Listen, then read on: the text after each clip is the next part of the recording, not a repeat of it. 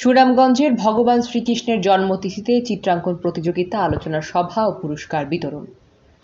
দুষ্টের দমন ও মানব কল্যাণের শান্তি প্রতিষ্ঠায় প্রায় সাড়ে পাঁচ বছর পূর্বে পরমেশ ভগবান শ্রীকৃষ্ণ এই দরাদামে আবির্ভাব করেছিলেন।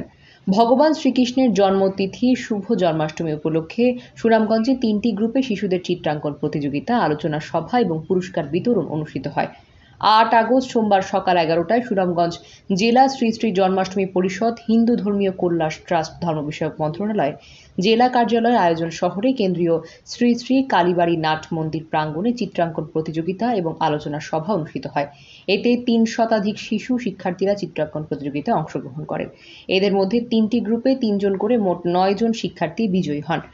শ্রী শ্রী জন্মাষ্টমী পরিষদ সুনামগঞ্জ জেলা শাখার সভাপতি অ্যাডভোকেট রাধাপদ সূত্রধরের সভাপতিত্বে ও সাংগঠনিক সম্পাদক মণি কাঞ্চন দাস ও মিঠুন চৌধুরীর যৌথ সঞ্চালনা সভায় প্রধান অতিথির বক্তব্য রাখেন সুনামগঞ্জে জেলা প্রশাসক মোহাম্মদ রাশেদ ইকবাল চৌধুরী।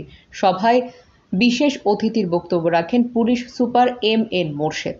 Sunamganj সরকারি কলেজের সাবেক অধ্যক্ষ পরিমল কান্তি দেব বাংলাদেশ পূজা উদযাপন পরিষদের কেন্দ্রীয় সাংগঠনিক সম্পাদক ও জেলা কমিটির সাধারণ সম্পাদক বিমল বণিক, জেলা হিন্দু বৌদ্ধ খ্রিস্টান ঐক্য পরিষদের সাধারণ সম্পাদক অ্যাডভোকেট বিশ্বজিৎ চক্রবর্তী, জেলা পূজা উদযাপন পরিষদের সভাপতি অ্যাডভোকেট বিমান কান্তি রায় সহ প্রমুখ।